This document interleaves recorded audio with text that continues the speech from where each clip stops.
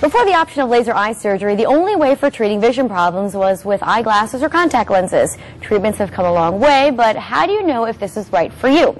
Dr. Jeffrey Gold is a board certified and award winning ophthalmologist who specializes in laser vision correction procedures. Doctor, it's nice to see you again. Welcome Thank, to the show. Thank you for having me back. So today we're talking about a newer form of LASIK surgery.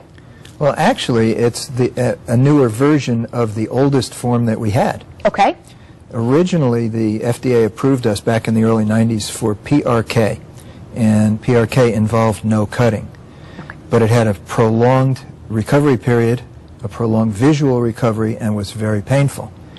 The next thing that happened around 1995 was they approved LASIK, and everybody jumped to LASIK, almost everybody. Including uh, yourself? Including me, because the recovery period was non-existent. People were, had their vision back the next morning mm -hmm. uh, after just a good night's sleep. But over time, it became apparent that LASIK may not be so terribly safe. And I can show you with this model why that particularly happens. In LASIK, we cut the cornea, fold back what's called a flap, and then the laser correction is done in the deep in the third layer of the cornea. The flap goes back down, the edges seal overnight, but this is relatively new information. From here to here, in the bed of the cornea, never heals.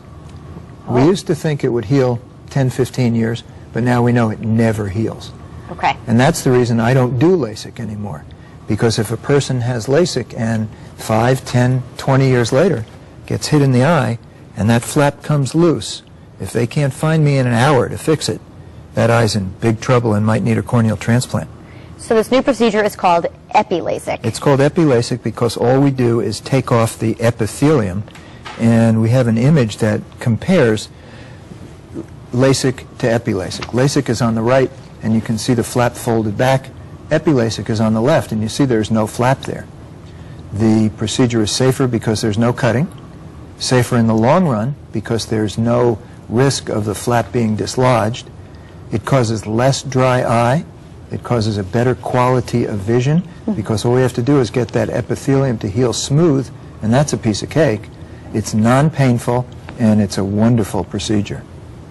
It seems like it would almost be easier than buying contacts every couple months.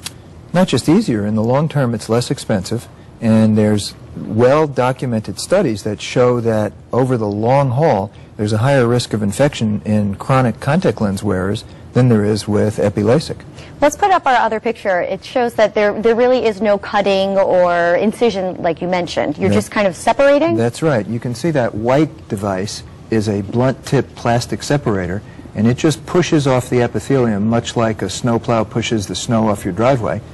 And that layer then, it, with, with the epithelium gone, I have exposed to me the second layer down where I do the laser vision correction and then that layer grows back over the next three days.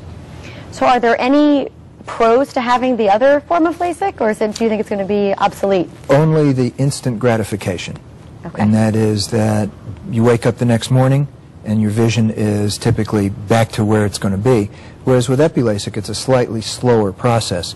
The vision is a, still a little bit blurry during those first three days, but people can function. They can work, they can drive, they can play. Oh, if you could uh, drive, it must not be too bad then. Absolutely. And the only restriction that I put on my patients is no swimming for about a week. Okay. Now, doctor, is this a permanent procedure? It is.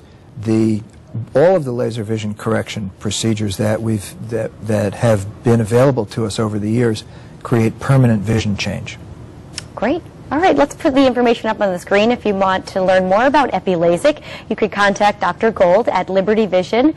Uh, the phone number is 203-281-5745, and you could check out their website. It's libertyvision.net. Dr. Gold, that was very informative. Thank you so much for being here. Thank you for having me. All right, coming up next, we're in the kitchen. Cooking instructor Claudia Chewinski shares her recipe for orange stir-fried chicken. That's when we come back. Don't go anywhere.